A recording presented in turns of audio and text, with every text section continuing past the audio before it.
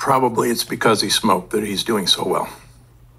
This is Dr. Gundry, the buffoon who keeps trying to scare people from eating plants because they have lectins and phytates. Let's hear what else he believes. How long people live is not important. And interestingly enough, And you live longer if you smoke. It's not because if you smoke, it's in spite of smoking. No, you're wrong. British doctors who smoke have a 30% less incidence of Parkinson's and Yeah, dementia. because they die of 10 other diseases beforehand. This patient went from eating just a ton of processed foods, whatever, and went on a cocaine binge for a few months. Okay, literally a cocaine binge and um, eating Twinkies, candy bars, but low calorie. And their hemoglobin A1C and their high risk CRP totally normalized. Yeah.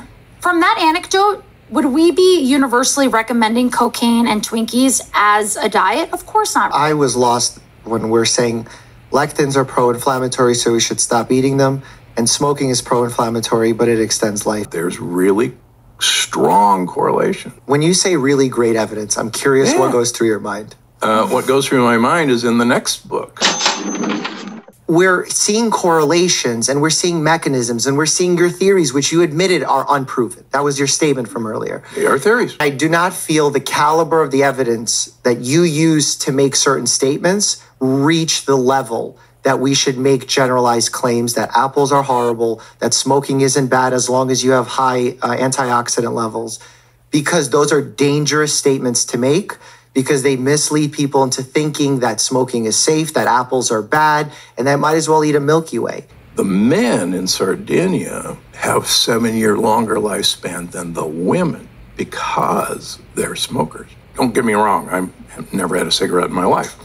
About 80% of my patients now are autoimmune patients who are not getting any better despite. Why do you think that is? Uh, when you make statements like the worst thing you could do for your mitochondria is a fruit smoothie, it's not just taking a little bit of liberty with information. It's truly misleading people to make bad decisions for their health. I looked up your publications, Dr. Gundry. I couldn't find anything published at AHA. Um, I saw that you had Sure. one abstract that was uh, presented at the conference, but it was never a published paper, peer reviewed. You're saying you could eliminate all disease? yeah. Then we're in the midst of a prophet. what a medical doctor tells a patient should be a matter of trust, and it has to be based on the scientific method. And that's where we smell a rat in this debate. Dr. Gundry, in all respect, has not published a published paper on this topic, little tiny paragraphs. That is not a basis to change the nutritional pattern. Let me tell you three important facts. Number one, if you want to live a long life in this world, whether you live in Japan, Greece, Italy, uh, Costa Rica, or Loma Linda, you eat beans, you eat peas, you eat lentils. The universal food of longevity is the food he takes away. Bad idea. Number two, the largest nutritional research data in the world just came out in the past few weeks. It's called the Pure Study. They looked what happened to 135,000 people. You ate more legumes, beans, peas, lentils, you live longer. That's not a side effect. We use lectins in medicine to diagnose cancer and to treat cancer. There are benefits to lectins. Dr. Gundry calls them killer lectins. That is abusive of the public trust. He's got 20 cheeses you can eat and almost no fruits you can eat. Sorry, that's not medicine. That is bad fad.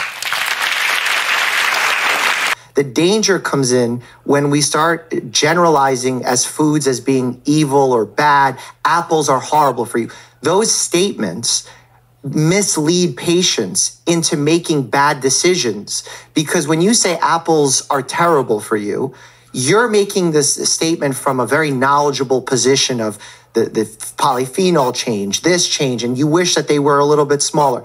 The patient hears, I might as well eat a Hershey's Kiss. Do you get how that happens? Yes. And that's a big problem because your books are bestsellers. But- and then patients go, I don't want to eat apples anymore. Great. That's so hard That makes say. me very happy.